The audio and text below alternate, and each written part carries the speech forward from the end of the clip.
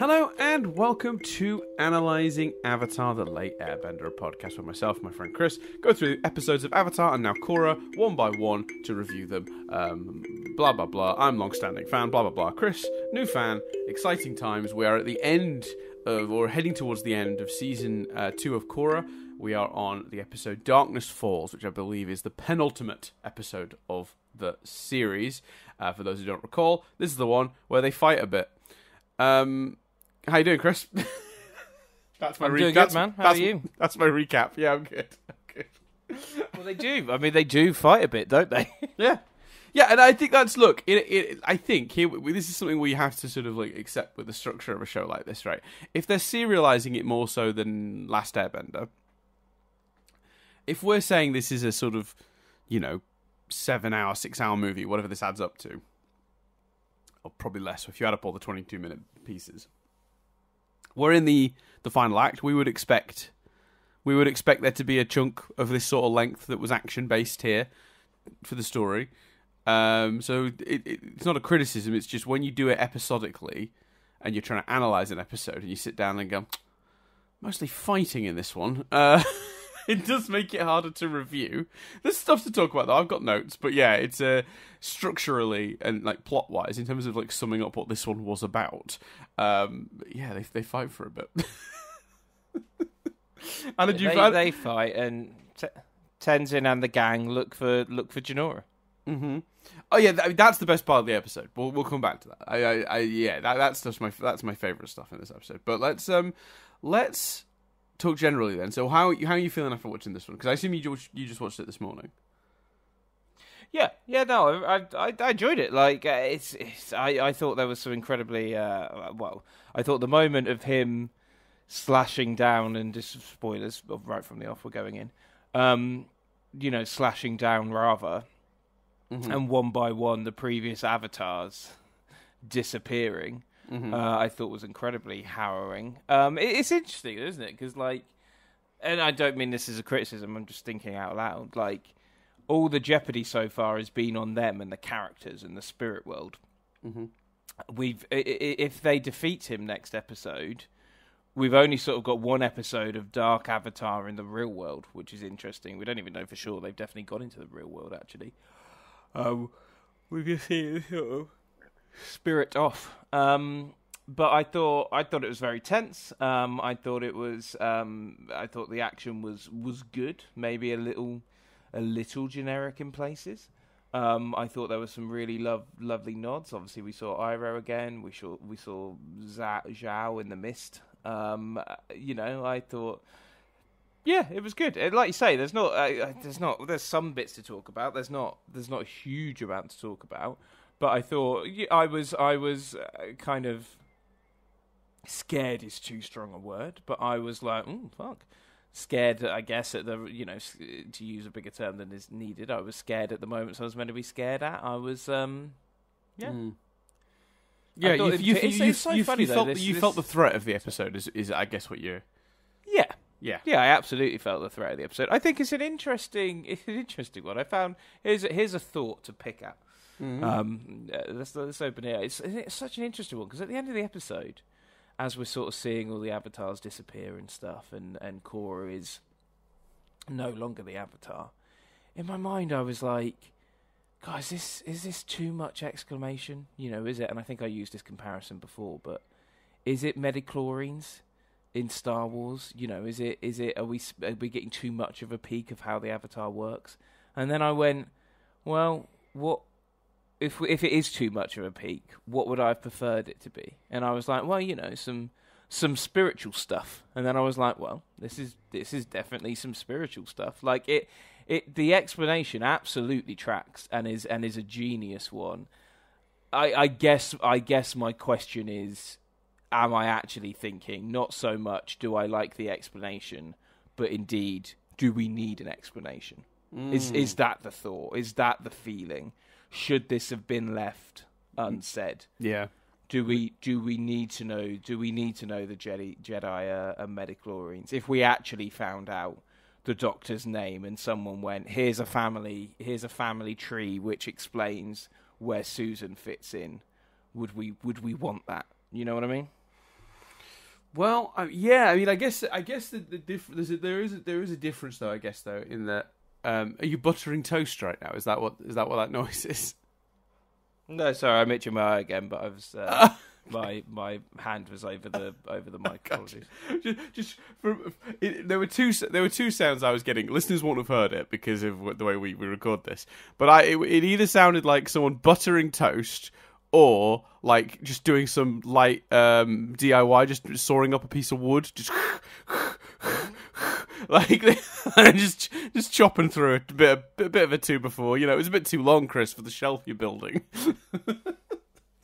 hey, I, I I would love a bit of toast right now, but alas, that is not the case. All right, shall I just secretly text te- uh, text Jess and be like, make him some toast? No, she's out. She's out, and we don't have any bread either. You don't So- bread. No. We've got two kinds of bread. I'd lend you some bread if I could get if I could get it to you in a quick and efficient manner. It was one of those. What are the two types of bread? Well, we've got the classic, you know, your classic white bread, you know, just like a Warburton's or whatever, and then we got a uh, an Irish soda bread. Soda bread, really Ooh, good. nice. That's what I had for breakfast before I came on here. Very Nice. good. It, it it was one of those things where we were busy at the weekend, so there was sort of you know sometimes if you're busy at the weekend, there's Yep. you, you just don't do the shopping. It just doesn't feel like there's a almost doesn't feel like there's a need to do the shopping because you're basically out all Mhm. weekend, and then it just for the week's shop you you yeah you end up behind. Mm. Oh, for anyone uh, wondering, it's it's the brown, it's it's brown soda bread. I should clarify. Mm. It's not I'm the it's not, it's not it's not it's not the white soda bread. That that's also very good, but not not what not what I have. Just say, you know, if, people are thinking what what what, what, kind, but I answer the question. You know, it's, it's like when people. no, I was, I, I, was I used to get a lot of questions about what kind of tea I was drinking. You know, I talk was about drinking tea on the podcast. saying I was glad to know. Yeah, no, no, I have to clarify. They're two very different things. I, I, I like both kinds of soda bread, but I barely even think of them as the same product Yeah. because the brown one tastes so much That's fair. different from the white one. Anyway, um, yes. Do so- we need to do we need to know the answers?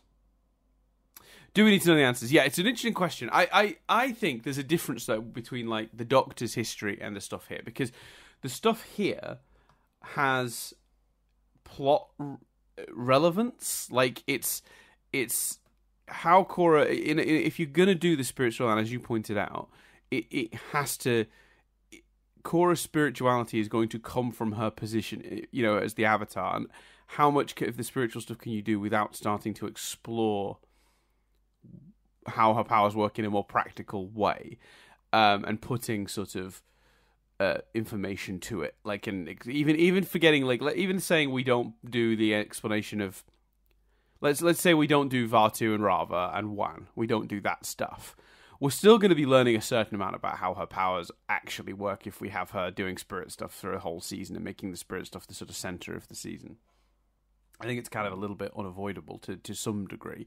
The what to what degree is you know take your pick. Like yeah, I suppose the, the creators absolutely could have, uh, you know, could have aimed away from giving us answers on some of the bigger stuff. So I guess it's really that maybe I'm undermining my own point there when I say that. But like I've the stuff they gave us is plot. They've made it plot relevant and in, in a way they've designed it.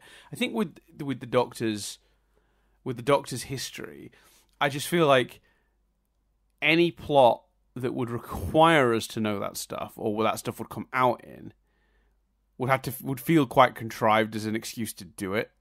Whereas I feel like mm. What we've got here feels like quite a natural. You know, we have an avatar. We have an avatar that doesn't that doesn't have a, a good uh, grasp on her spiritual side at the start of the season, and she's learned more about the spiritual side of the avatar than any previous avatar. Aang didn't know this stuff. Well, I, I mean, uh, he did through his, you know, ancestral knowledge, I guess, of like, you know, no, but he didn't practically. He couldn't have recited the tale of Wan to Sokka and Katara. You know, um, if if Sokka and Katara had said, "Hey, Aang, how did you become the Avatar?" He may he maybe would have been able to connect with Wan and speak to Wan the way he spoke to Roku and gotten that story, maybe, or maybe in the Avatar state he knows that story, but he doesn't know it practically. Um, I, I you know I think if you're gonna do if you're gonna do it, you do it this way. I think um, in terms of uh, you know, uh, uh, execution of many of the plots in the season, obviously aside, in terms of just uh, from an idea perspective, if you are going to commit to telling that story and you are going to commit to putting like uh, you know, uh, practical explanations in for how some of this stuff works, which, as you said, is is always a risky move. This is probably the way you do it in terms of the idea, the, the conceit. Tie it so heavily to a to a, to an avatar whose journey needs to be learning about that stuff, um, and and a villain that's tied his evil plan into it too. So it all feels like at least it's it's relevant. And then in terms of giving those answers and giving those explanations, you run the risk of alienating your audience. You always do with that sort of stuff, no matter what. Um, it's it's it's it, some people are not going to like the answers they get. Um, but I think you know at a certain point, like it, it, it's a little. The other difference here, I think, is this is the original creative team, right? Doctor Who has been going for so many years. The original creative team are very, you know, uh, sadly long gone. You know, they don't have input in the choices that are made now. And uh, whereas I feel like when you've got something so singular in its vision, like the world of Avatar, where you know, um, Mikey and Bri Bri, as we've affectionately named them, um, have had control over the main pieces of media that make up the canon of this show. I think it, that's their right to, if they want to explore that stuff, they can. It's not a, you know a show that's been on the air since the '60s, had been handled by, and, and by doing that, you're robbing other writers of their their ability to keep that stuff a mystery and use the mystery of that to their own advantage. You know, um, there's that other element of it too. Um, maybe this is always what they had in mind for how it happened and how, how Avatar came to be, and that I mean, and that is that is what we've had indicated as well. By the way, this stuff was always in their brains because they they were going to do they were going to do something. I think I want to say in season two of the original series, relating to like doing a version of Wan story. I think I think that was the original plan, or at least they were going to, you know, cover it in in some sort of maybe not exactly in the way they did it here, where they told the, the, the, full story and then explored it through the villain the way they've done it here, but like some some version of it, uh, and they ended up saving it for this. And I and I don't begrudge them that. I think yeah, I think I, I agree with you in that it's always terrifying, but because it's I don't mind any of these explanations personally. It's always really hard for me to muster that kind of frustration, and also you know uh, we're so we're we're only you know what seventy odd episodes, eighty episodes into this this universe now. It's not like it's been a, an eternal mystery for a bajillion years. So yeah, I, I'm I, I don't I don't begrudge them at all. And I think there's some if you're going to reveal stuff about the way it works as well, doing it in action rather than in telling. Like a, there's no one in this episode describes what's happening to Korra. We're seeing it happen. We're seeing it visualized, and that's really cool hmm. because we're kind of learning how the Avatar stuff works just through visuals. Um, I do have a small criticism um, because he, he, the minute he fuses with with Vaatu, he can bend all the elements, but he he how? Like he doesn't he has an avatar state of his own right? Where his eyes go red, but what past version of this new dark avatar is he pulling from to do that? He hasn't yeah, learned. everyone else needs to be trained. Yeah, yeah. Yeah, like like like like Wan had to learn all the elements. Uh, you know, Kyoshi had to learn all the elements. Like they, they, that's part of the journey of an avatar and should be part of the journey of a dark avatar. And I feel like if you're going to do this plot, what actually should have happened, like I mean, is, is is in reality what you do is you end this series two episodes earlier so basically last week, but instead of the cliffhanger of last week being Vaatu is free, you free Vaatu midway through the episode, and it ends with the Dark Avatar created and then running away. because they've what, got to. You think they then get some sort of training and stuff? Yeah. So the idea then is we have to stop them before they master their powers. It's a reverse of Aang, right? Aang had to. Get, Aang had to. Less, Aang had to to get less master... fighty fight, Dan. Go on, sorry. I said then you get less fighty fight. No, you still do the fighty fight. You do the fighty fight to free Vaatu and have them become the Avatar. But then once they're the Avatar, they have they bail. They immediately bail, and the stakes are we've lost. There is now a dark avatar out in the world, and then it becomes a reverse of the Aang situation, where like with Aang had to learn all the elements before um, the villain could succeed. Now, for the hero to succeed, they have to stop the villain before they can learn all the elements. That if, Yeah, if you nice. if you're gonna do that idea, that's that. In my opinion, that's how you do it. You have this dark avatar actually be an avatar in the sense of they really have to go do it. You know, I can't remember my exact feelings watching this the first time round, but I've got to imagine the second I saw him doing all of the, the bending, I was like, oh, that's a shame. Because he just knows. I don't know how he just knows or why. Because again, when a when a modern day avatar goes into the avatar state, they can do all the bending, even if they've not learned it yet. But that's because they're tapping into their past lives. This is the first incarnation of this avatar. Wan couldn't. Is he- is it- one is he- once. is he ta- go.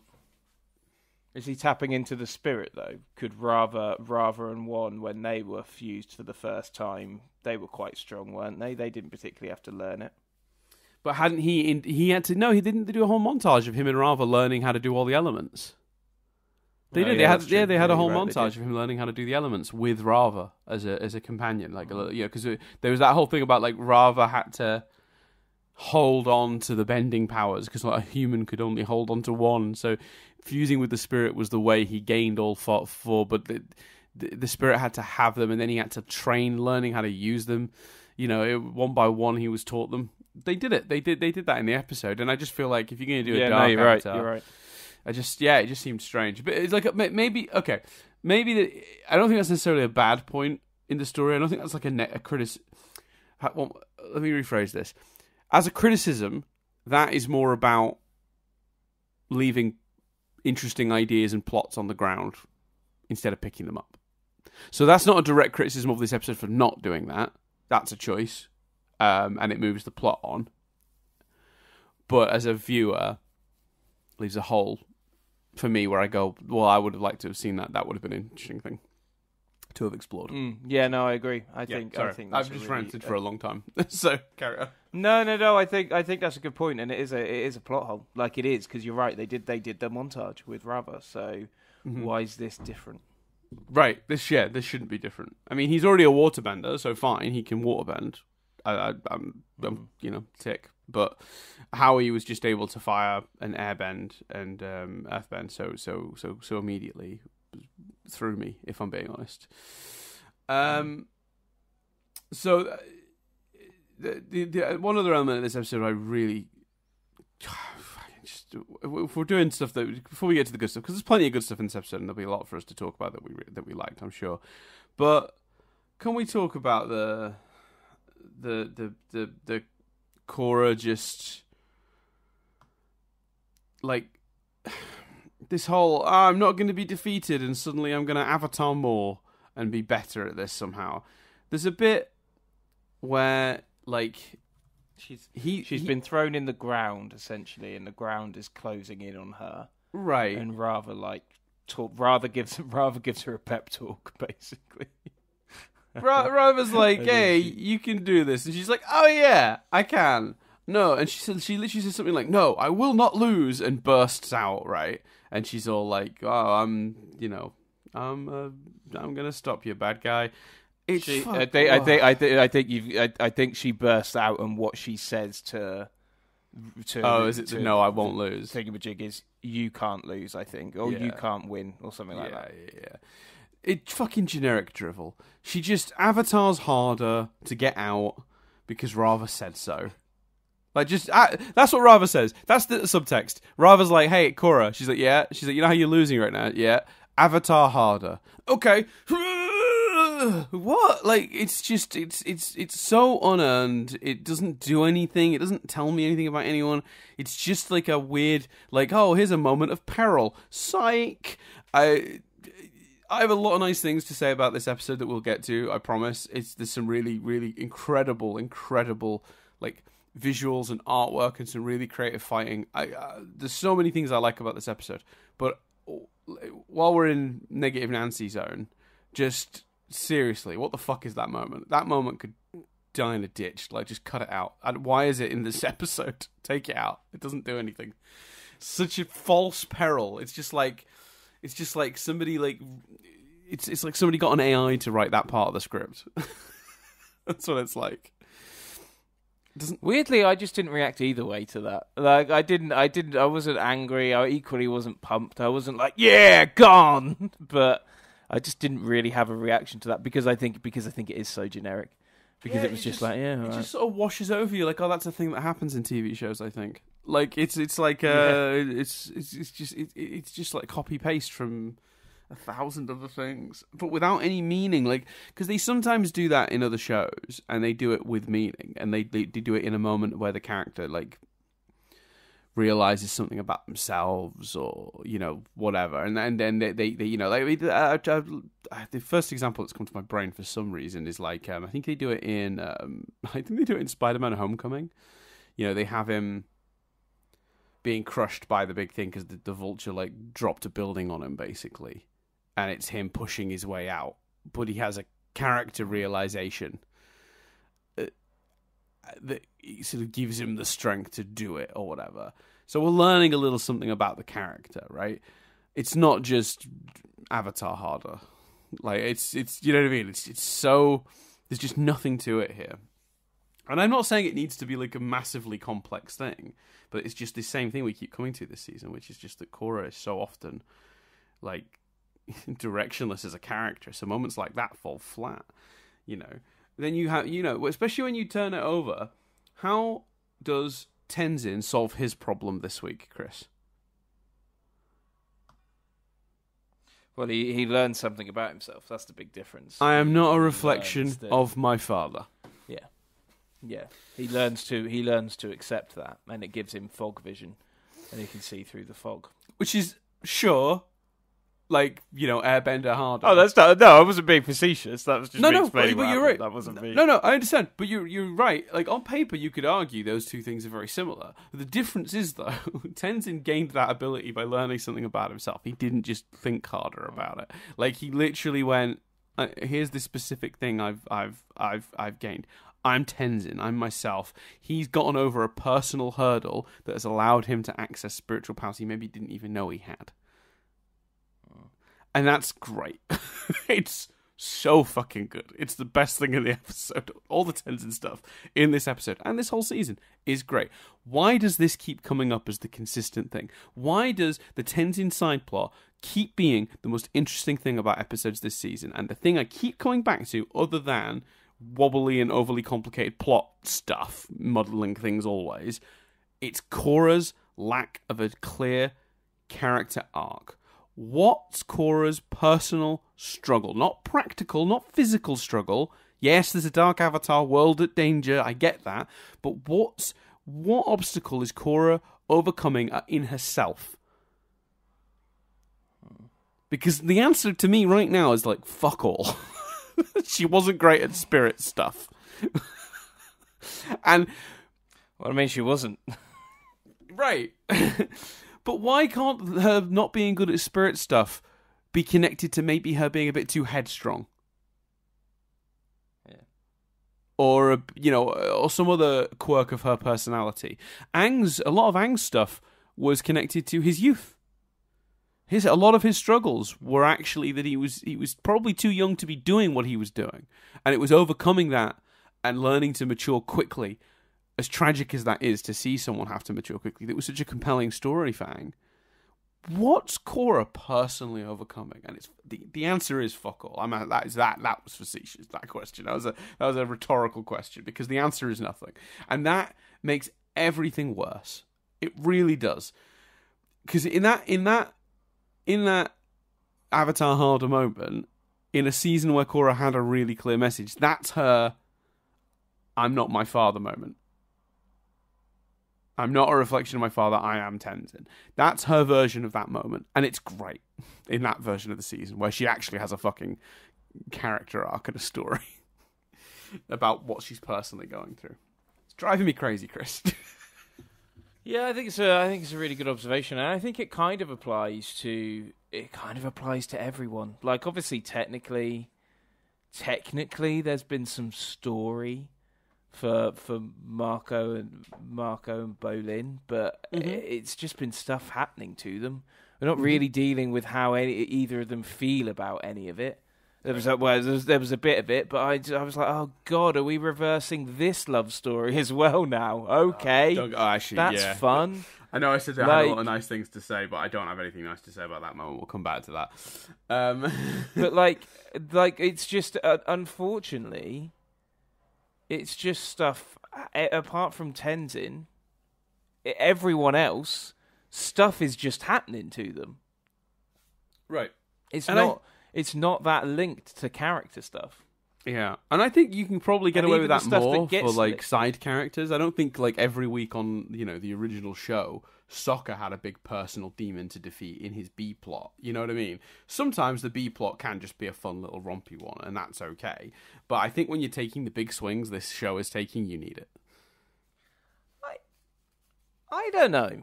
I uh, Sokka trying to find his place in a, in a, in this team where everyone else has powers Right. and working out that that place You're is to be You're right. the general. And Toph dealing with Toph dealing with her family's rejection of her and Yeah. and what that means and, and adapting to, to, to be friends. I mean, do we need to go into Zuki Poos? Arguably the, the you know the strongest character arc in the in the whole show. Um and and Katara uh, trying to deal with whether she protects or and uh, okay the Katara one I'm I'm stretching a little bit but I still Well, yeah, but, uh, Katara, uh, but Katara's dealing with the loss of her mother. She, she, you know, she sees her mother in herself. Like she, she's really conflicted because her mother passed we- away at a young age, and now she's mothering this go. group, and that's like a big thing for her. So, like, yeah, all of Katara's stuff comes back to that. I think. and and we deal we deal with it. You think about the episode with Sokka when he, you know, all the moon stuff and the moon spirit and all of that sort Mm-hmm. of stuff. We deal with that. We had a plot this year with Bolin. I think it's Bolin. Bolin, the police one. Yeah, No, that's Mako. But yeah, go on, Mako. Mako. Mako Mako wants to be a policeman more than anything else. He's a, he's detecting. He's a detective, and nobody believes him. Nobody believes that he's telling the truth, and they all laugh and dismiss him. And we don't really ever find out how that makes him feel. He goes to prison. Oh well, Now he's in prison. Now he's he's he's so disbelieved. The system that he wants to protect is so corrupt. He's ended up in prison. How does that make him feel? Dunno. He gets let out of prison. Asami well, I, no, well, for a second, for a second, Chris. Let's be fair. For a second, he probably felt bad. I don't know, man. We didn't see it. Oh, he was in the prison. He looked sad. He had a sad face. Oh, okay, cool. Asami, Asami. I think one of the reasons we get so much, we get so frustrated and feel so much justice. Uh, hashtag justice for Asami, is because it's arguably the one interesting element of love triangle bullshit, which is she has been portrayed by everyone in her life. She got betrayed by her father. She's just been betrayed by the business guy. She is constantly getting portrayed, and then she's been portrayed by Bolin.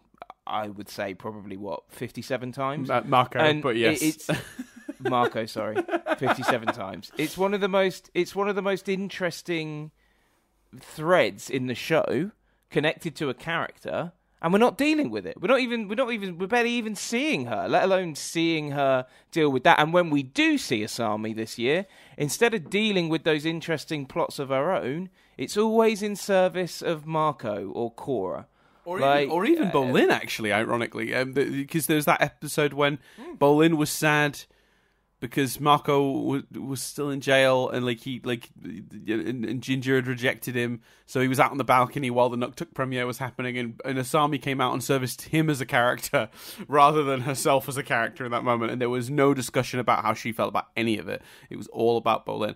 Uh, This show has done Asami so dirty. This, the more I've watched this season, the more I've been absolutely outraged at how Asami's been treated.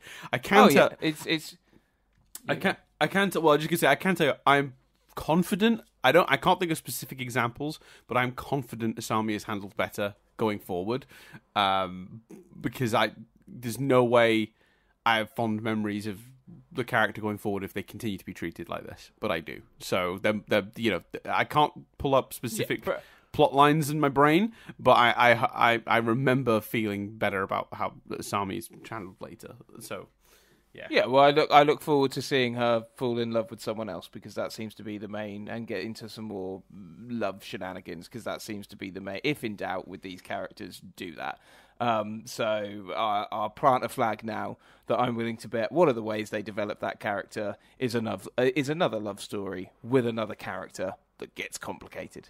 Um, just a bet. Uh, we'll find out if I'm right. Based, just- based on the first two seasons of this show, it's a reasonably safe bet, isn't it? exactly. I yeah, don't. I'm I just don't not- feel like you're exactly ri- I, like I. You know, you're ringing up your uh, your accountant, going, "Is this a safe bet?" They're going, "Yeah, you're probably all right, aren't you? you can risk some money on this." mate. I just, I just had my fucking. It's, it's a cost of living crisis, and our mortgage is covered up. My, but there are no safe bets. My account is like, you probably should start gambling. Like, in my, Uh, how do you feel about Yeah. buying a month's worth of lottery tickets with your wages? um, yeah, I, I don't know, man. Like, I, but so I don't think it's just Korra. Is my point. I think it's, I think it's every character, and also. Like, and I know we're only two seasons in, and we've only really seen um, Dodgy Rock for a season.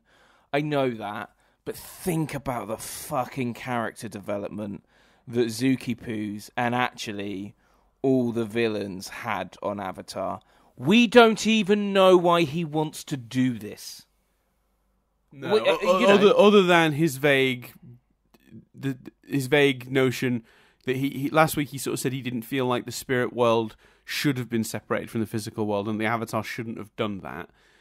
Um, and the, you know, and in the earlier parts of the season, he was talking about how you know humanity was a, was was was negatively affecting the spirits. So our assumption is he's kind of weirdly on the side of the spirits.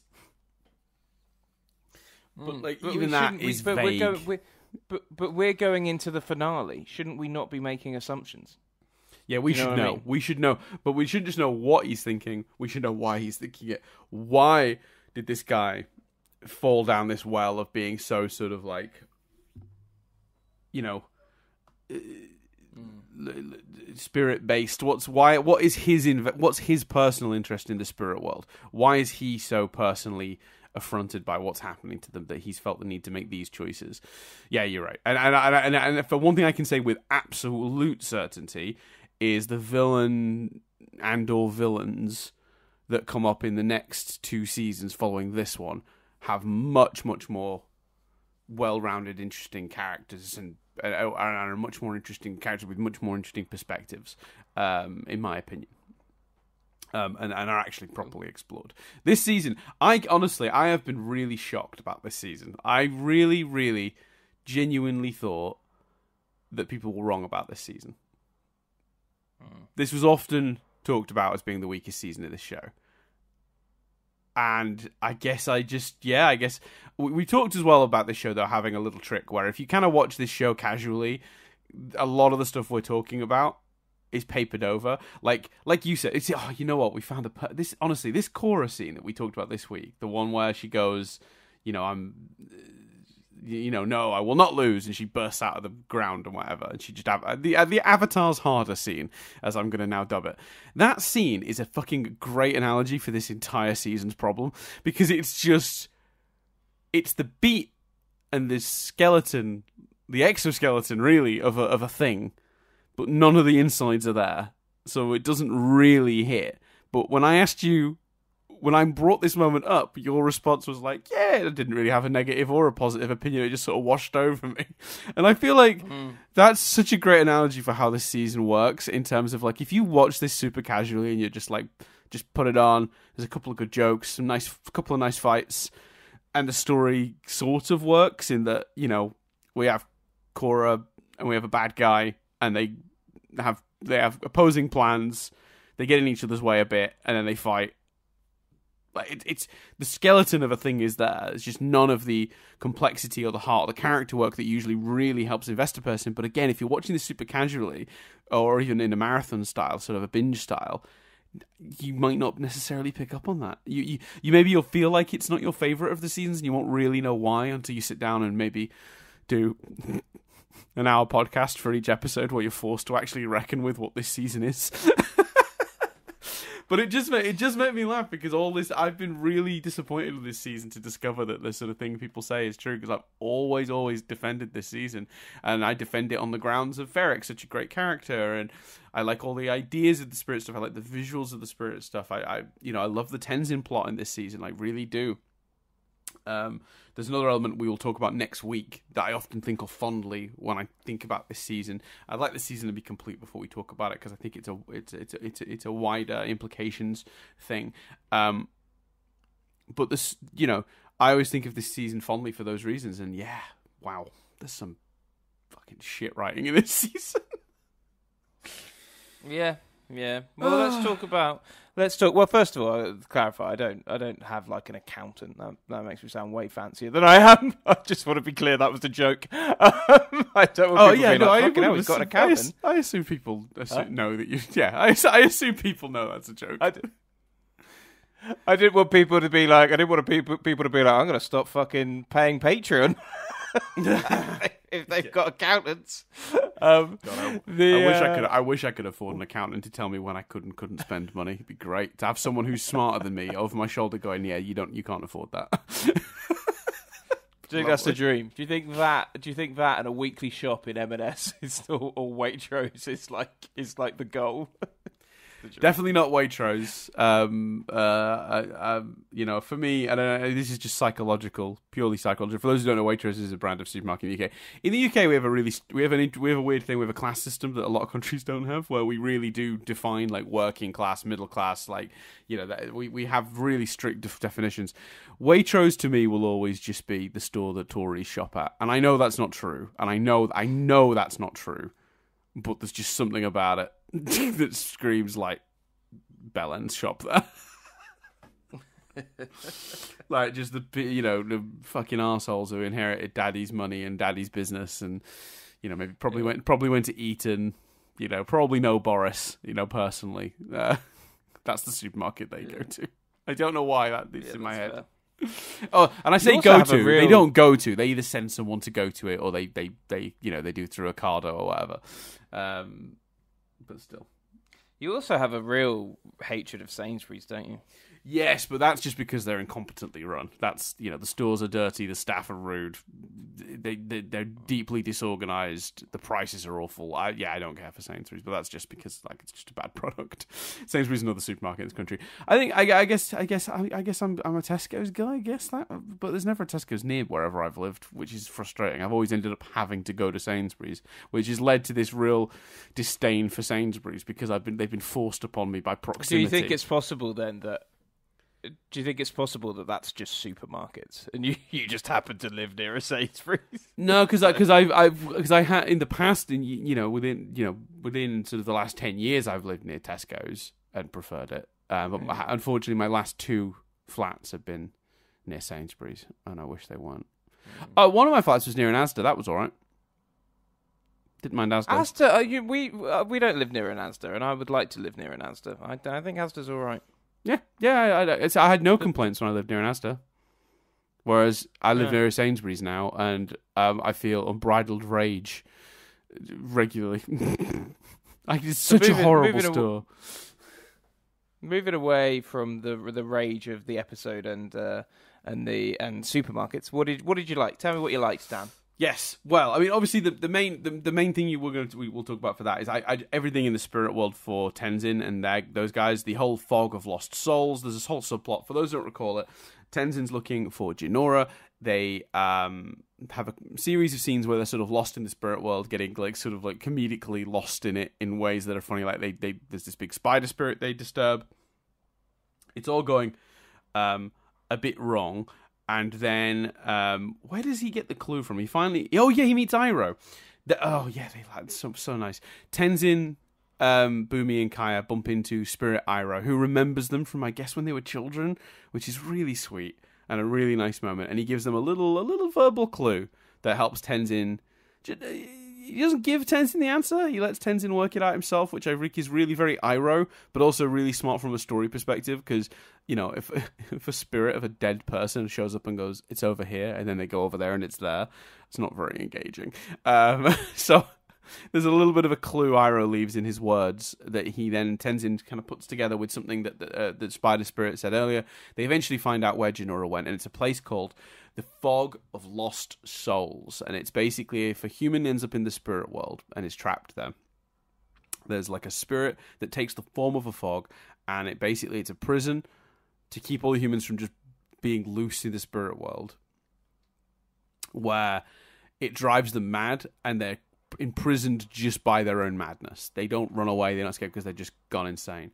Where we meet when when Tenzin goes there to rescue Jinora, we meet Zhao for the first time since season one of this show.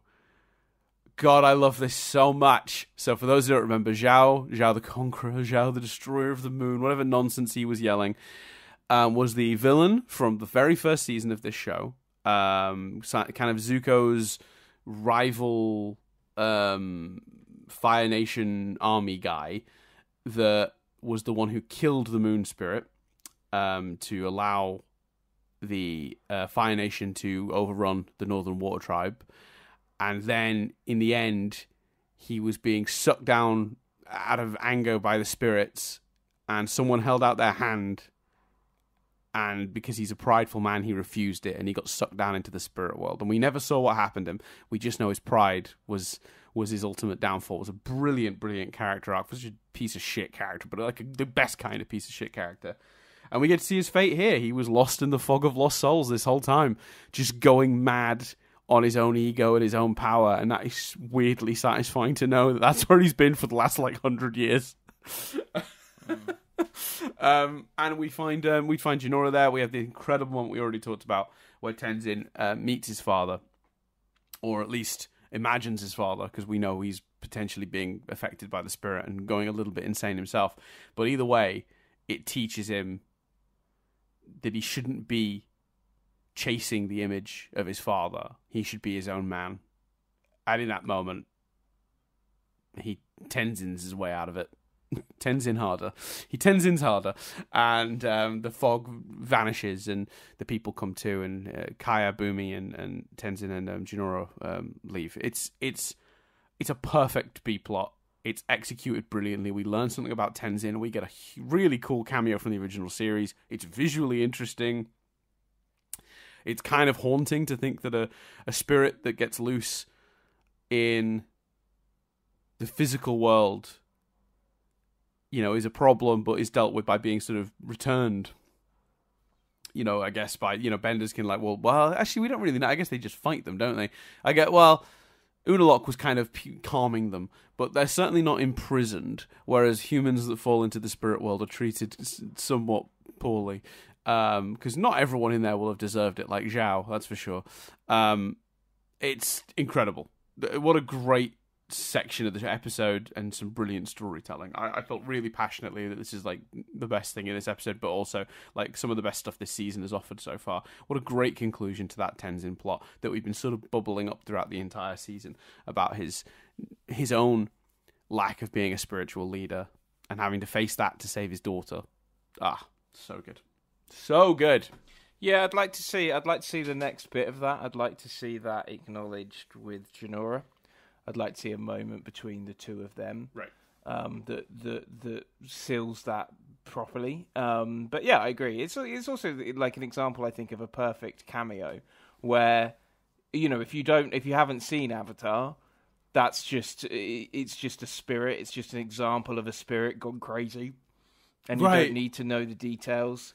They don't do it too much. I don't know how far you are with a certain other show, Dan, but I think a certain other show that we're both currently watching is is doing the remember this person a little bit too much. Um, or, even though I love it every time.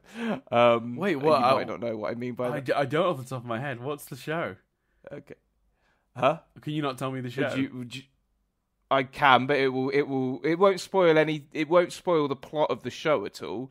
But it will spoil some. It will. Uh, it, you you might end up looking out for things, but I can tell you if you want.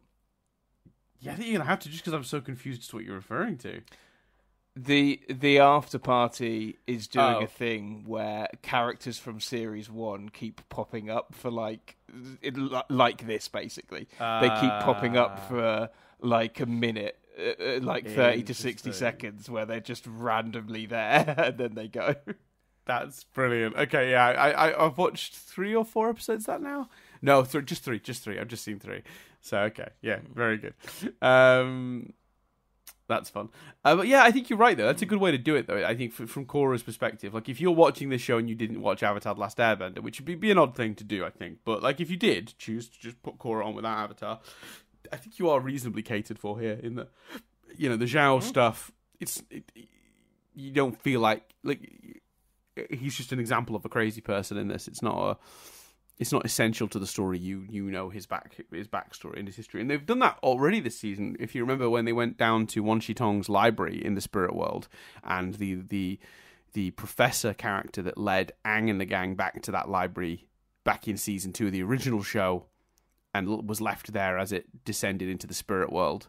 His skeleton was found, you know, by Jinora a handful of Yes, episodes yeah, ago I do you remember. and like that was like again a perfect reference where if you didn't know who that was you know it's it's Wan Shi Tong pointing out that the last guy that spent a lot of time in the in the library died there you know and you, that's all you need to know you know he's the context of that is is, is evident you know it, it, it's, it's the show presents enough information for it to feel like it's but it's telling you something about what's happening right now without it feeling like a, an overt wink. But I think that you do that by tying it to the story though right? Like if if if Zhao just showed up in one of these episodes while he'd been in the spirit world and was just there, and they're like, "Oh, this is where you've been this whole time," he's like, "Aha!" and then he gets like punted away by a spirit or whatever. You'd be like, "What was that about?" but like because they've tied it, like they've used him as the demonstration of what happens to people in the fog of lost souls. He's got a purpose in the story of his own that's unique to this episode, and therefore, if you don't know who he is, you just go, well, that's that was his purpose. He was there to teach me about how mad this place can drive you. You know, the same way that the skeleton was to show you about the the, the dangers of, you know, the, or, or or at least the obsessive nature of the the information gathering with the library. You know, this guy was in that library so long he died there. You know, like fine, like that. See, they, feels like they serve a purpose within the context of the story they're in. They're not just like, let's take a minute out to show you this person. Yeah, yeah, absolutely. Mm, very good. Um, so yeah, Yeah, Zhao the really- Conqueror, really Zhao the Moon's, Moonslayer. What, what sort of stuff? What, what stuff did you like about this episode? Because we do still have one big complaint, and I, I want to get the good stuff out of the way before we get to the one big, my other big complaint. I think I kind of, we've kind of talked about everything I really liked. To be honest with you, I think.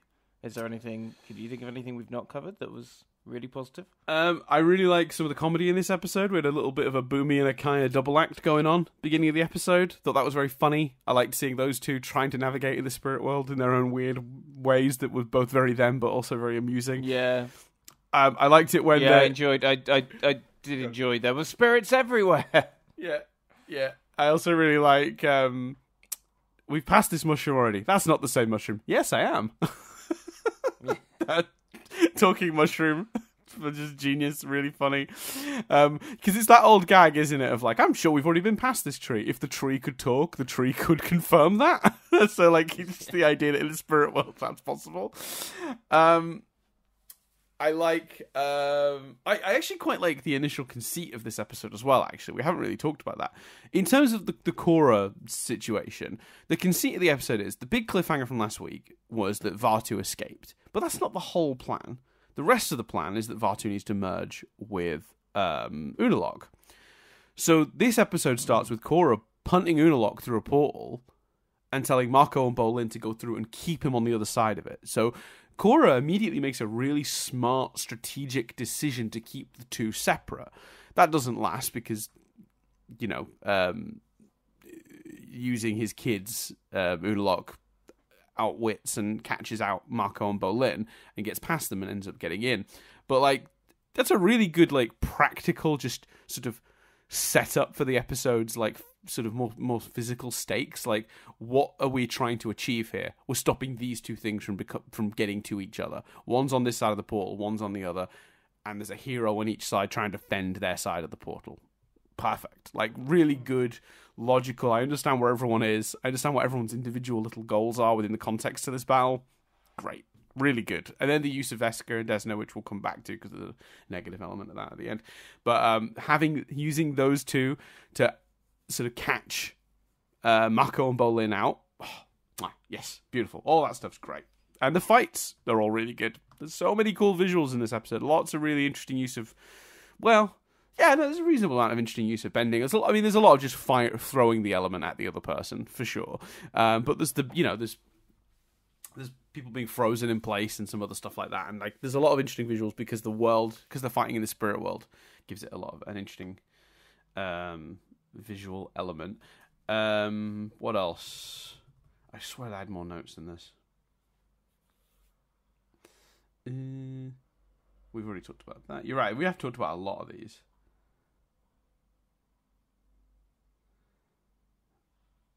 Oh man, maybe I'm right. Maybe even if you're right, sir. Maybe we have already covered most of the good stuff in this episode. Oh, did you have any? Okay, so we we we, we hint we talked about this moment, but I really want your thoughts on this. What did you take it to physically mean? So we we, we have that towards the end when Korra is being essentially defeated, that moment where every blow makes a, a visual representation of a previous avatar sort of dust, like fade away. Mm. What do you think that's indicating visually is happening? Like, what do you what do you take from that moment? I'm very curious E- your either thoughts. two things. Rather is being destroyed, and she's, uh, you know, her memories, her, uh, her connections with those avatars are mm-hmm. are being destroyed one by one, or the piece of them that lives through Raava and is able to communicate with the current avatar through Raava, through the spirit, are slowly being destroyed one by one. Mm. I think was basically it, ultimately destroying her.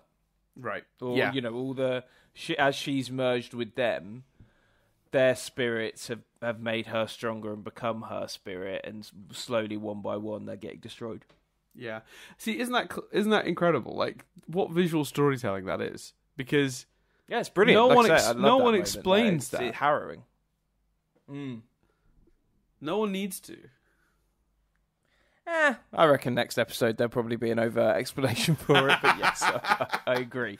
I I agree. In that moment, we don't need, and and and that's what makes it so harrowing. That's what makes it so threatening. Yeah. Yeah. I would agree. I would agree. Um so let me see then. With that in mind, let's should we talk about I, feel like I said at- some point in this episode, there's plenty of good stuff. We'll talk about all that. But I've got complaints. I've got one more big complaint, and I just want to make sure I do all the good stuff before we get to that.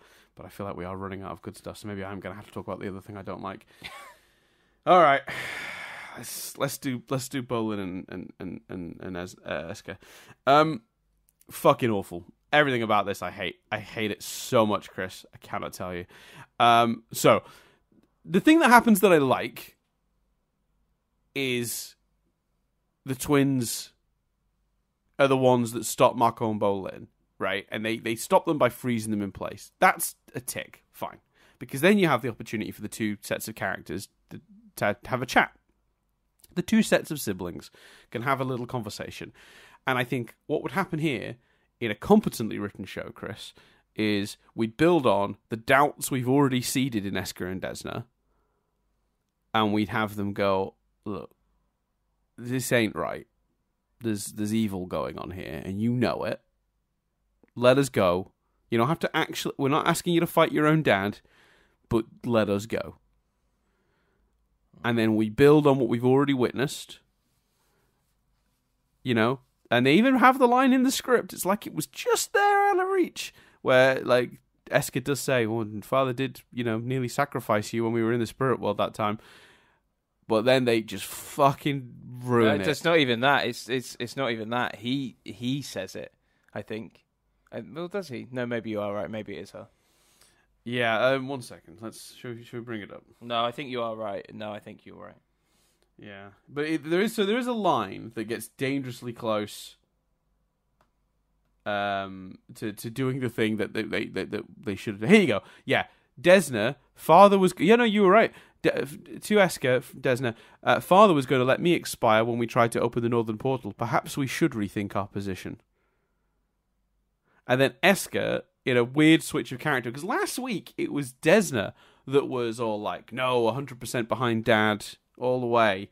And it was Eska you felt had concerns. This week, just the other way around, because they've either gotten the names mm. mixed up in the scripting process or some other thing has happened. But basically, it's Eska that says, no, don't listen to him. His words are poisoning your mind. And then we have the. I'm just going to take my glasses off. Rub my eyes a little bit in frustration. Then we have a scene where Bolin eloquently expresses a deep love that he still feels for Eska, a character that he never really seemed to love in the first place. Um, just sort of was in a weird relationship. He kind of fancied her, and then it was a weird relationship, and he didn't he didn't know how to get out of it. Pretty much immediately wanted to get out of that relationship. And it's this heartfelt. He's teary. He's sad, and then Eska lets him out on that grounds rather than the actual established reasons that we've done for why they would let their, their, their, their they would let them go. They let them go for that reason. And then it's, it's so frustrating. This is such bad writing. Mako says the obvious thing because it's the thing we're all thinking when they do let them go, which is something like, in fact, it'll be right in front of me because I've got the thing, isn't it? Um,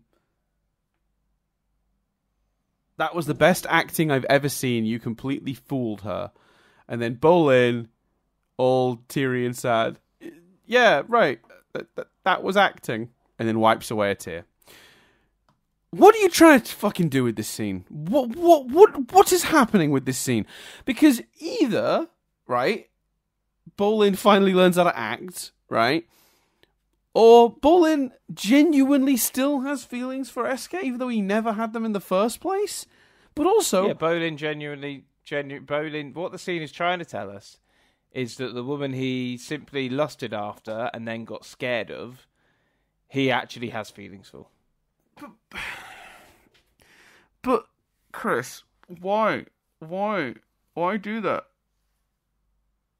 I don't know. Why, why do any of this? It wound me up. It wound me up because eh, because I'm like, oh god, are we are we reaching towards a redemption arc where they do the right thing and then They laid the groundwork for that. together? They laid the groundwork for it, Not Chris. good. Huh? They laid the groundwork. That's why it's so frustrating. If they'd never laid any groundwork for a turn for that for the for the twins for for Eska and Desna, I would go like, all right, you've got to come up with something as a reason for them to suddenly let Mako and Bolin go, right, and make it the connection with Bolin. That's fine, I guess, right? But it's it, it's even more the frustrating knowing that we've laid the groundwork for them to betray their father, and then just not used it. You know what, Chris? I'm going to spend millions that, of and pounds then that's building not a. the thing that works. What was that saying? And then and then that's not the thing that ultimately works. Yeah. Like, oh, I'm just going to go build a big old train track. What are you going to do with it, Dan? Nothing. Not going to put any trains on it. Why would I do that? That's silly. I just like the look of a train track. It's, like, it's infuriating, Chris.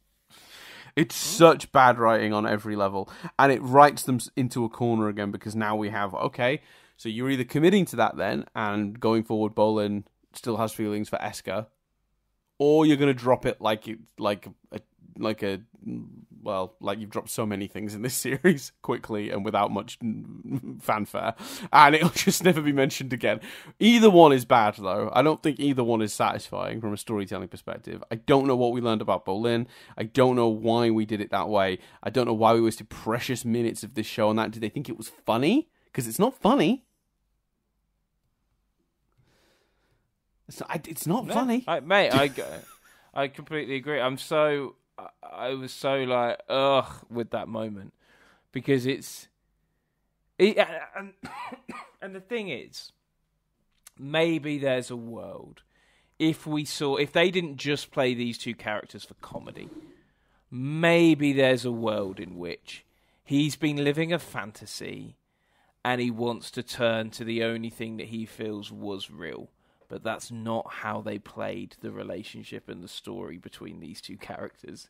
He was terrified of her, and it was played for comedy. So why now is it being played suddenly for for I- I- emotive needs for for for drama? Because it's it's not those things. Because it never was. That's not that's not what we saw. It's it's hard to believe the two halves of this episode are written by the same people, isn't it? When you've got the incredible symmetry of Tenzin's story with his daughter, who's been more spiritual than him, and his struggles with this image he has of his father that he's aspiring to be, and then actually learning this season that his father wasn't actually that great a father, and who Tenzin is. Tenzin's a father, maybe in a way that his dad, his own dad, wasn't and he's going to be there for his daughter in a way his own dad wasn't. And he overcomes this desire to become his own father and saves his daughter in the process. Maybe surpassing his own father in a, in a way, not maybe as a spiritual leader, but in his own way, right? By loving his kids just that fucking much. How is that written by the same person as this? Hmm. Because this is just drivel. this is meaningless drivel. I don't understand. Who wrote this episode? Where are you? Let's let's let's name name and shame. Josh Joshua Hamilton. Right, Mr. Hamilton. Um what what happened here? How are these two things in the same piece of writing? One is so Yeah. good and one is I so don't bad. disagree. don't understand. I don't know. I don't know, No, Chris. you, you're right. You're right. It's it's it's infuriating, and I'm just like, where is it going to go? Because if they suddenly try and make that the plot that they should be together, it's awful. If it was just this moment and that's that's the only point it ever comes up, and there's no acknowledgement later or resolution, also awful. Yeah, there's Like, literally no good. That's why this is such a, an annoying piece of writing as well, because literally no outcome of this now is good. They've written themselves into a position where neither outcome would be satisfying. Either you're going back on a relationship that we already handled and was had a, had its purpose and was funny for those moments, but has been moved on from, or you're committing to it. Or you're sort of undoing what Bolin says. So yeah, you're either undoing Bolin's heartfelt yeah, sure, it was acting. Wipes away a tear because it wasn't acting at all. Or you're committing to it and then you're stuck with that. Uh, neither option's good. Why didn't we? If you're going to do this, just leave it at Mako being like, that's the best acting you've ever done. Because I would have probably, without that last bit from Bolin, genuinely, I might have gone, I don't love it because we've already established a reason for them to betray their father, but that is kind of funny that Bolin finally learned how to act in this last episode. I don't think that would have bothered me so much. I know, but even that's broken because then you just go, "Wow, it was very manipulative for Bolin. What a shitty thing to do to profess your love to someone when you don't feel it." Oh Christ, yeah, I don't know. Um, anyway, yeah, it's bad. That, that's bad. Um, very quickly, the ending, Chris. Um, how are you feeling about the setup for next season? So we have, you know, ten, uh, you know, hundred thousand years of darkness begins, and Jinora sort of sensing Korra's need for help has sort of turned in that direction. Everyone's coming together. Um, we have a big giant monster version of sort of Vaatu slash Unalaq, big red, big red lobster man, looking like he's gonna cause some havoc. How are we feeling about the finale based on that ending? You know, it's a bit weird actually, Daniel, because Mm. I it's a great cliffhanger. Um, I think it's an interesting cliffhanger. I kind of, I kind of would be more excited if this happened two episodes ago. Yeah. You know, given given how quickly things got wrapped up, and uh, you know, we're talking very specifically. I know about the last few minutes and the montage and the sort of Korra's got her powers back and the the sort of boat suicide murder. But given how quickly everything suddenly wrapped up last year at the season one finale, I think there's so much potential and so much to explore in this cliffhanger that, you know, I wish we had a Avatar season four style four parter dealing with it. The notion of one episode Yeah, twenty-two that's minutes. going to potentially. Huh? Sorry. yeah, twenty-two 20 minutes. Yeah. Yeah, so it's not extended or anything. That's scary. if I'm honest, I would have rather. I think there's so much interesting potential here. Right. I'd have preferred that to be. I'd have preferred this to be the cliffhanger of of season two. Like this is the final episode, or this Right. is episode ten, and there's still another four. Right. Yeah, I would agree because I think like so many interesting things happening. Like when he's like a big red lobster man at the end, I, my first thought was genuinely this is interesting because like I'm not sure this is what Unalaq got into this for. I think Unalaq thought maybe he was just going to be an avatar, like you know, human form, but with with those powers. I'm not sure this was his was was part of the deal, being a big red lobster man, big red spirit lobster man, with all these tendrils and stuff. Does has he been tricked? It makes sense for th- this this universe's version of essentially the devil, I guess. Vaatu sort of is an evil spirit, like the the, the the the the mother of all evil spirits. You know, like this is this is kind of their version of the devil. Um, I'd, I'd buy him lying to get what he wanted. Yeah, you'll be a dark version of the Avatar, but really, it's just he needed to be freed and he needed form. Um, so he took the essentially the guy's body. But we're never going to get to it- twenty minutes. Is not enough time to explore that as a scenario, as interesting as it is. So No, uh, yeah, it's definitely not. yeah. But hundred thousand years of darkness is beginning, Chris. You know the stakes I, are high because there's it's a big number. be done. I'm given that season three is still called The Legend of Korra and not The Legend of Alice, and it's someone from you know ten thousand years time. I don't think there's going to be ten thousand years of darkness. No, okay. Well, maybe Based maybe last ne- maybe next season is called Legend of Unalaq, and it's just about him as a dark avatar.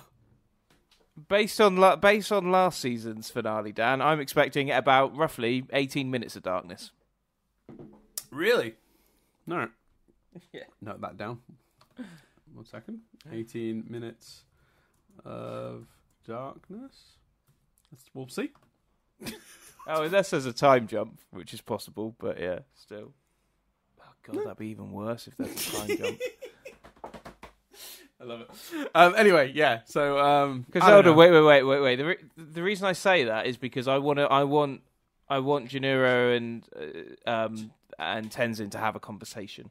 I want to see Yeah. Korra wake up. I want, I want to deal with. As much as I don't like it, I'd be even more annoyed at us not dealing with the Mako Bolin stuff. Like, so the notion of a time jump and us not getting that kind of stuff is also really annoying. So, yeah, if there's a time jump and I'm wrong with my predictions of 18 minutes of darkness, I'm still going to be unhappy. you can't win here. No, Um, I really can't. Yeah, no, I- agree with you, and it is, it is. I mean, even when I was like a defender of this season, I, I always thought it was paced kind of poorly. Um, you know, I, that was always my contention was, yeah, the pacing's not great. Um, but that's that's a recurring theme across the first two seasons of this show, I think. Um, um, something I do think again they and I don't want to put too much in season three and four, but I really do feel like season three and four really figure it out. Um, it's just occurred to me that to Yeah, say well, you it's just occurred to me that to you say also go on. you also felt that season two wasn't as bad as everyone else said. So forgive Uh, me yeah, for and not I- trusting you. And. I, that's absolutely fair. I was I I, I was wrong, I was wrong. Um, it's just occurred to me as well. There's an episode in season four where to save budget they had to do a, they, they, there's a clip show. I don't know what we're gonna do with that in terms of reviewing it. Oh God, we're gonna have to review it. We're absolutely gonna have to review it. Yeah, I guess we review a clip show. Yeah, I didn't even think about that. It's it, it, it it's it's a shame because it's one of those things where basically just budget wise to make sure they had enough money to do the final they wanted, they needed to do a cheap episode somewhere in the middle. So they they do a little like almost like a, a version of a clip show episode. Um, a cheap cheap version of it. Yeah, you, we'll see. It's it's there. It's a it's an interesting take on it. It's not quite as clever as the Ember Island players as a way to sort of cheaply recap the story before the end, but it's um it's kind of season four's equivalent to that. But we'll we'll come to it when we get there. Anyway, right. Um, let's let's move on. So in in in in in summary, there is some good stuff in this episode. There are some cool visuals. Um, seeing the spirits entangle and come out and all that stuff is all really really visually exciting to see. Um, and the Tenzin stuff is just gold top to bottom. There's just you know the issues that have been creeping in this whole season are very present throughout this whole episode. Um, in the way it's paying off stuff, it, it- you know, they're, they're paying the price for choices made earlier in the season, basically here, um, in many ways, and then bad choices made here too. See the Bolin scene, but um, yeah. Anyway, um, let's do this. Should we triv it up, Chris? Let's triv it up. That was a very enthusiastic one. Chris really wants to finish this episode. Uh, I'll give you No, no, no. trivia. No, sorry. Wait, wait, was that sarcasm? Was that was that not so? No, no, that was very. recall That was a particular. No, that was a particularly enthusiastic one. I just thought that was you being like, "We're at the end. Whoop whoop. I can go soon. No, I can go eat some toast." No, no, I haven't got any toast, Dan. We've established this. oh shit! Yeah, that was the problem. The problem wasn't that you didn't have access to it. It, the problem was you literally don't have any in the house. I recall. Sorry, I thought it was just that you need you needed a minute to go make some.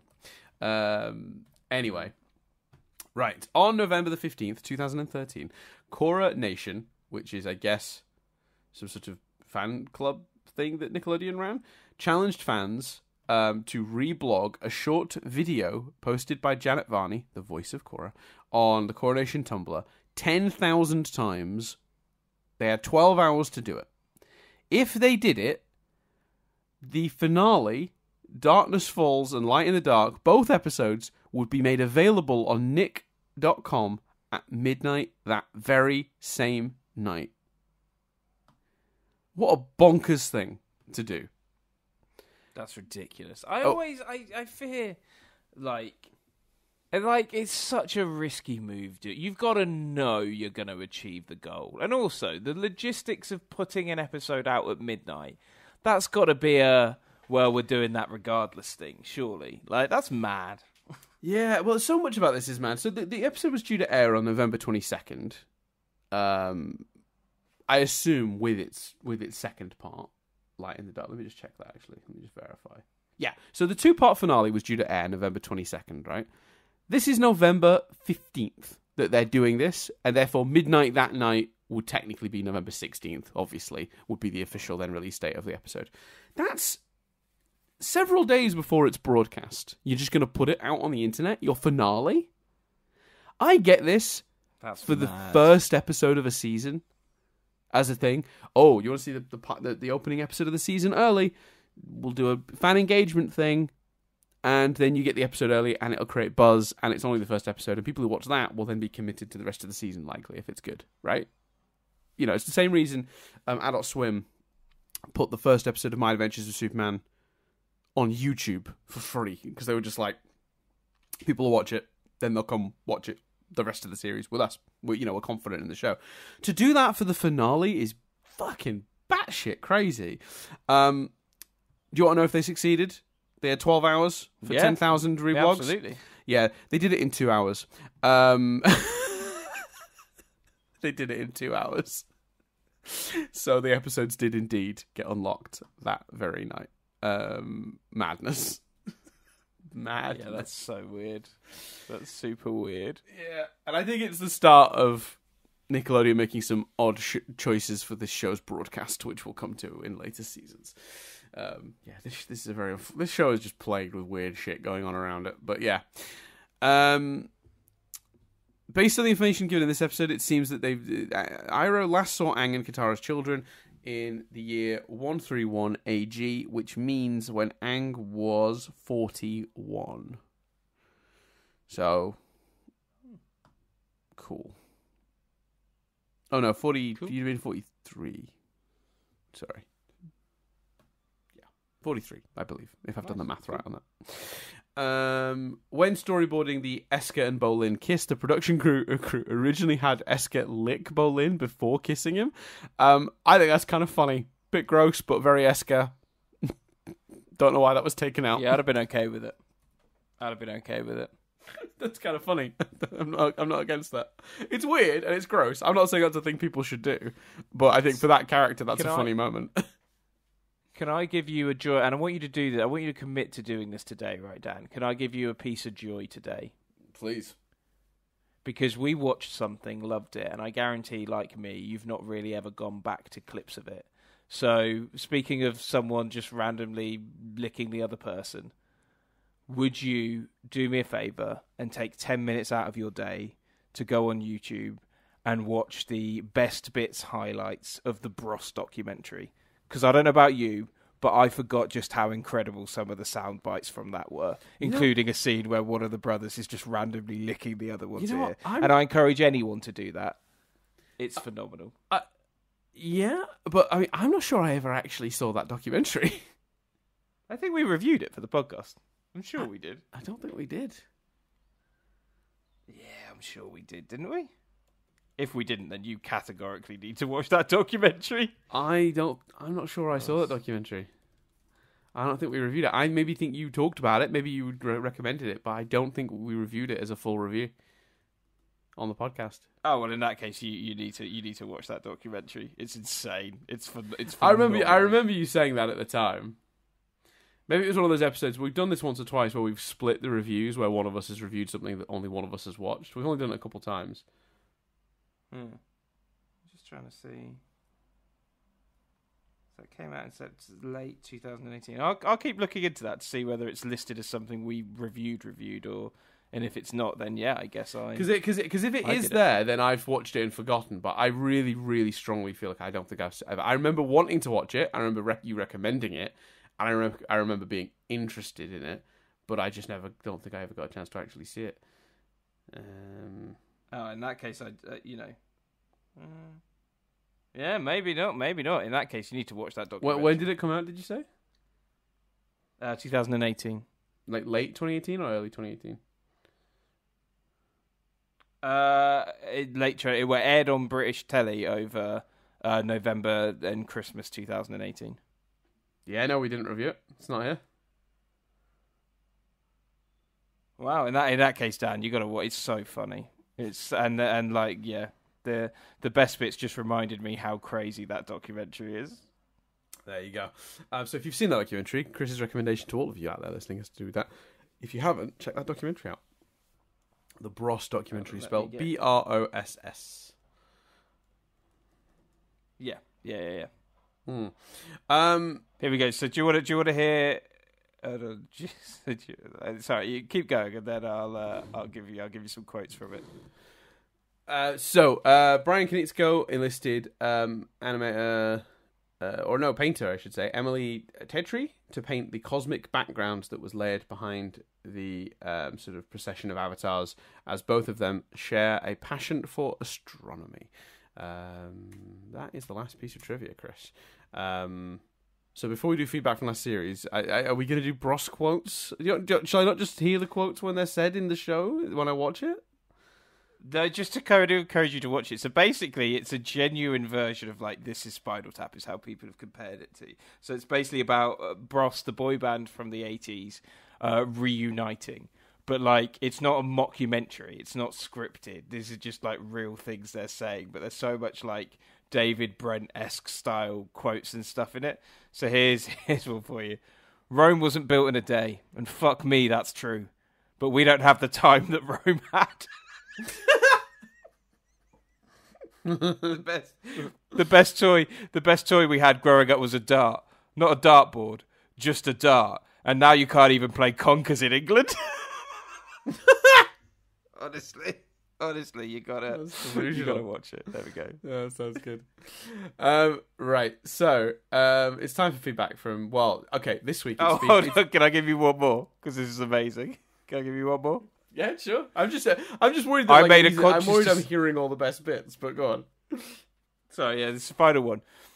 I made a conscious decision because of Stevie Wonder not to be superstitious. I you it the wrong moment to take a sip of my drink, then, didn't I? That's very good.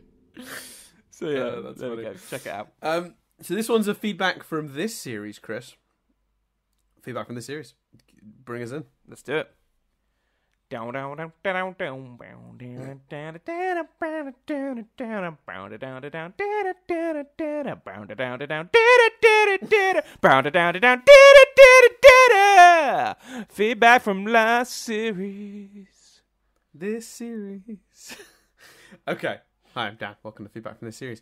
Um, if anyone wonders, by the way, why I say hi, I'm Dan. Welcome to feedback from the series, we used to do a podcast called Fringe Observers, where we did a quote of the week, and Chris would sing a song at the beginning of that, that segment. You you know varying lengths, usually a similar though like vibe every week, where it'd be like you know some sort of musical interlude, then it would be Dan's quote of the week, and Chris would get mad if I just went into it without saying hi, I'm Dan, and welcome to quote of the week. Like Chris legitimately got mad at me whenever I didn't do mm. that.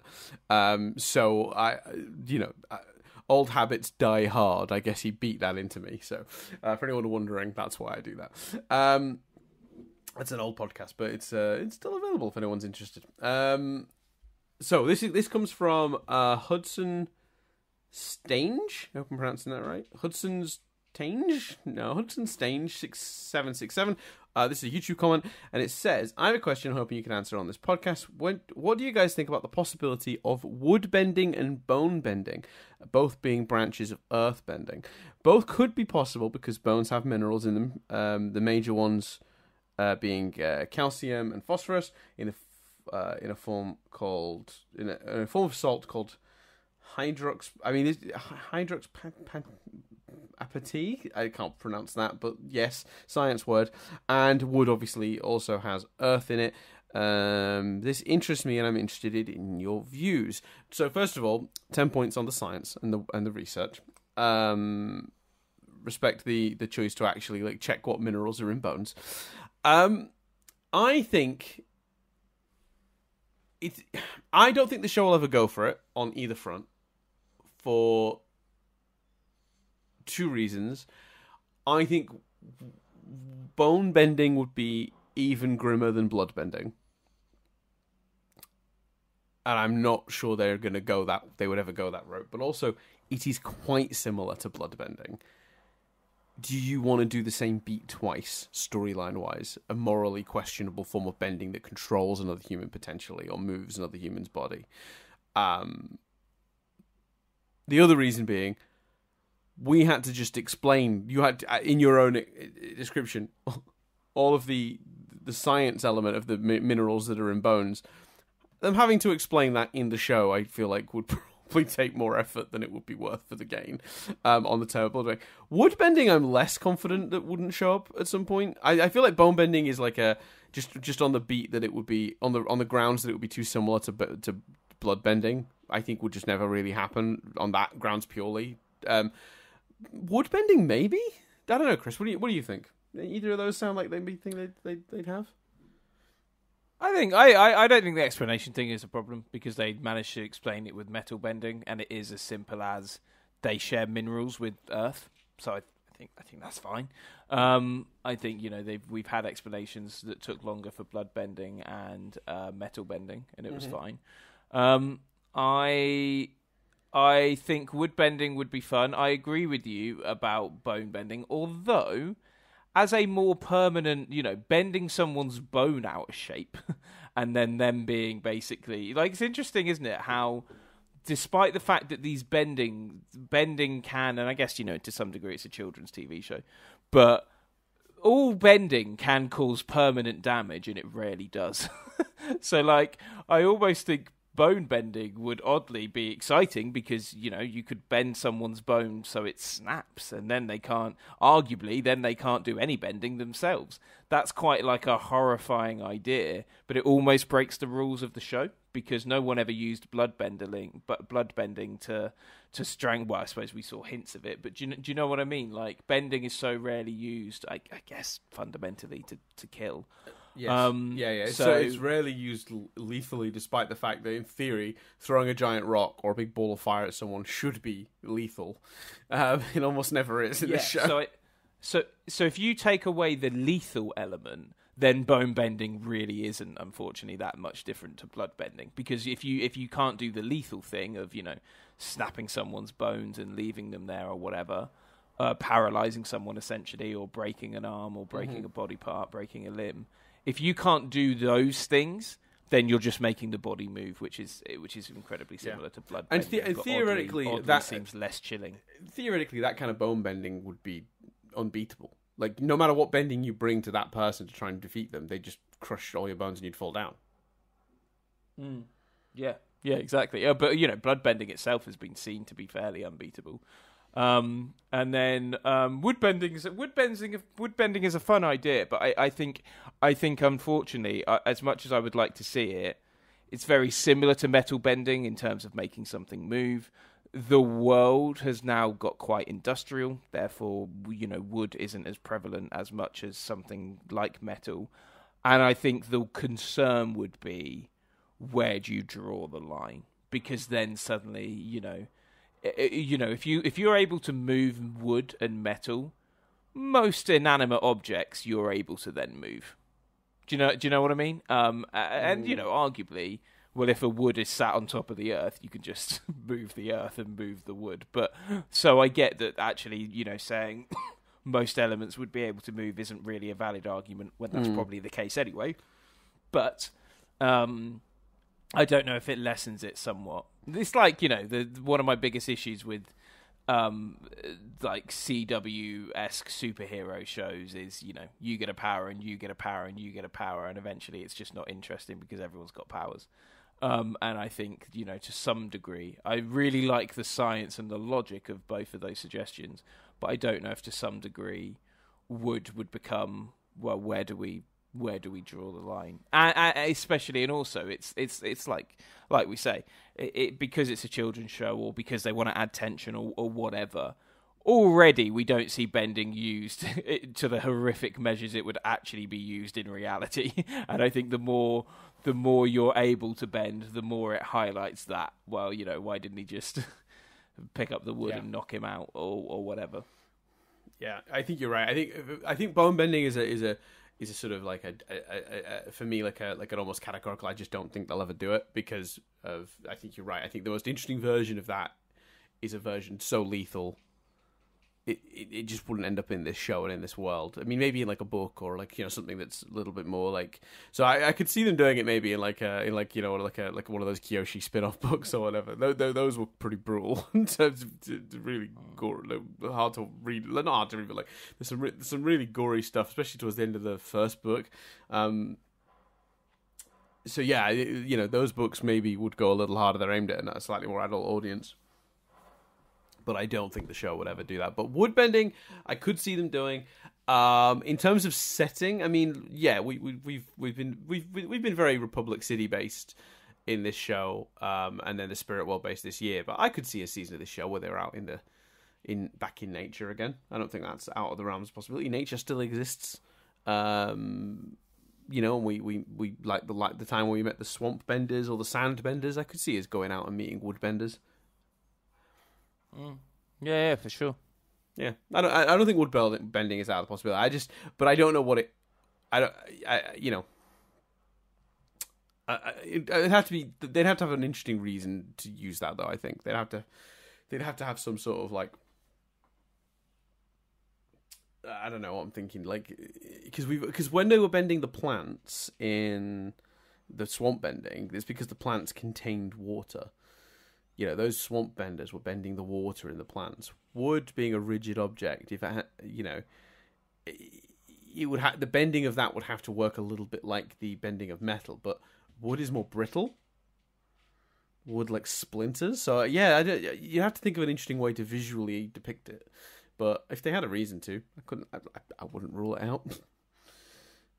um. So yeah, yeah, yeah. I think that's fair. Good question. Great question. Thank you, Hudson's mm. Brilliant question. Um, thank you. Anyone who wants to leave feedback, you can do so. YouTube.com slash nothing but static UK. You can go over there and put a comment in under any of the analyzing Avatar videos. And uh, we may get back to it in feedback from last series, next series. Um, because if you're hearing this, then this series is very much recorded. And therefore, you have to wait for next series. But uh, we, as we've proven this year, we'll we'll if we if we can do a comment per episode, we can get through quite a lot of the back catalogue of sort of like people's comments and stuff, and give them a moment and a chance to respond to them. Um, so yeah, yeah, it's been fun. I think it was a, a good addition for sure. Mm, yeah. So if yeah, feedback um, that via that, you can also do it through the Patreon but to, uh, through, through the Discord, sorry, I should say. But the Discord is accessible through the Patreon. So patreon.com slash nothing but static. For as little as $1 a month, you get access to our Discord server where you can also leave feedback and comments and interact with us, but also um, we have the exclusive uh, Nothing But Lyrics podcast, which we should have one per month. The, this month's one is late from the point of us recording this. We're recording this in uh, August, but the first two or three went up very timely. So I'm hoping to get back on that um, time in a timely fashion, um, and we'll have to put out two quite close in succession to sort of make that work. But we will. We, that's that's the plan. Um, that's our podcast where we make. It's exclusive to the Patreon. It's a podcast where we where we make fun of the lyrics of old songs or try to decipher them in some cases. Um, sorry, there's just a big bang, and I'm trying to figure out what. okay. I'm not sure. I thought it was the door going, maybe, or something. I don't know. Something slammed.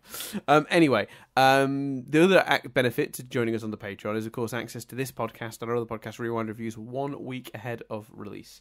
So, yeah, patreon.com slash UK, as little as $1 a month supports what we do. If you'd like to support us in a non financial way, keep listening. That helps. Tell a friend. You can do that too. Um, you can also re- interact with our podcast on any of the platforms that we have. So you can review it, you can like it, subscribe to it, all that jazz on your podcast platform of choice. And that tells the algorithm you liked it and makes the algorithm more likely to share it with others.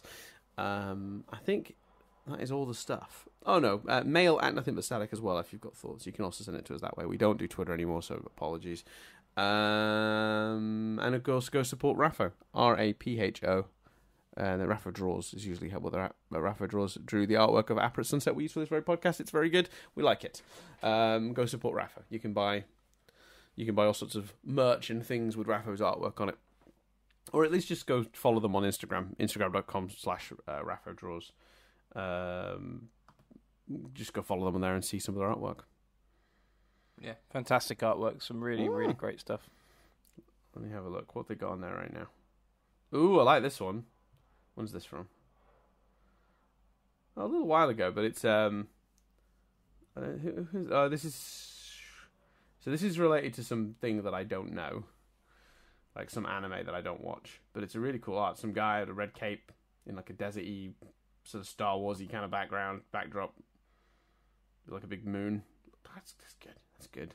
I, I don't know what it is, but I like I like it. Oh, they did. A, oh, they did a bit of Wednesday fan art as well. When Wednesday came out, Wednesday playing the, uh, um, was it the double bass?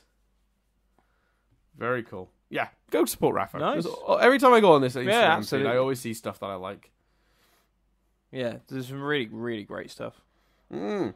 Right, so that's everything for this week. Um, are you excited for the final, Chris? I'm pumped, man. I'm, I'm well. I'm nervous because, like I say, I think there's way too much to wrap up in 22 minutes, um, and I, I don't. I think the promise of this cliffhanger warrants more than 22 minutes. But yeah, let's let's let's see what happens. Let's see what happens. All right, so that's everything for this week. I've been Dan Doolan, I've been Chris Billing. and we'll see you in a week's time when we sit down to review Light in the Dark.